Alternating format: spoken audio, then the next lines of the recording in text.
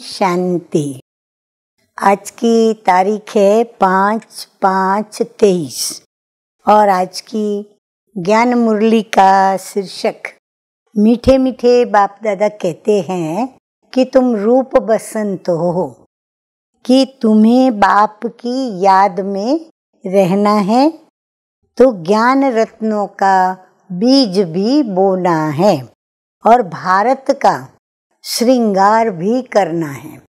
हम तो पवित्र रहें, परंतु पूरा भारत हमारा पवित्र बने।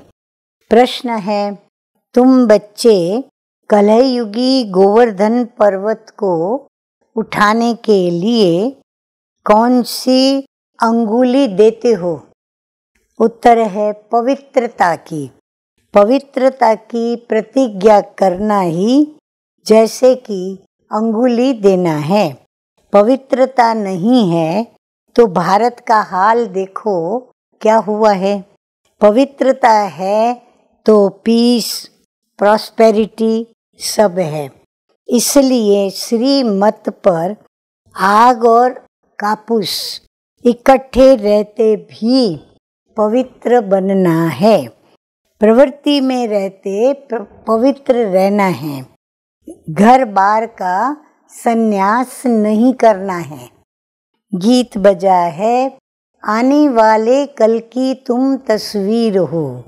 नाज करेगी दुनिया तुम पर, तुम दुनिया की तकदीर हो। धारणा के लिए मुख्य सार के दो धारणा बिंदु। नंबर एक, सदा हर्षित और खुश मिजाज रहना है। कभी भी रोना नहीं है। जीते जी सबसे छुट्टी ले लेनी है। जैसे कोई मरने पर होता है तो सबसे छुट्टी लेता है ना। बाबा कहते सबसे छुट्टी ले लेनी है। किसी का भी चिंतन नहीं करना है। नंबर दो, अपने शांति के स्वधर्म में स्थित रहना है। ज्ञान और योग से तीखे जाने हैं। ध्यान की आश नहीं रखनी है। वरदान सतगुरु शिव परम पिता का कि यथार्थ श्रेष्ठ हैंडलिंग द्वारा सर्व की दुआएँ प्राप्त करने वाले सर्व के स्नेही भव।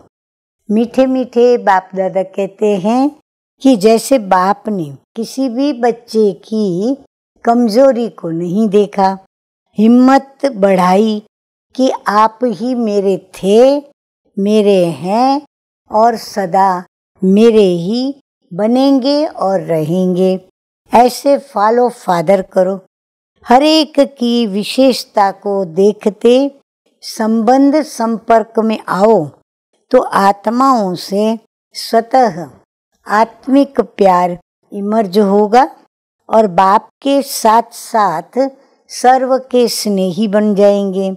जहाँ आत्मिक स्नेह है, वहाँ सदा सभी के द्वारा सद्भावना और सहयोग की भावना स्वतः ही दुआओं के रूप में प्राप्त होती है। इसको ही रूहानी यथार्थ हैंडलिंग कहा जाता है। स्लोगन है, अपने श्रेष्ठ संकल्पों की एकाग्रता द्वारा अन्य आत्माओं की भटकती हुई बुद्धि को एकाग्र कर देना ही सच्ची सेवा है। अच्छा मीठे मीठे सिकिलदे बच्चों प्रति मात पिता बाप दादा का याद प्यार और गुड मॉर्निंग। रूहानी बाप की रूहानी बच्चों को नमस्ते।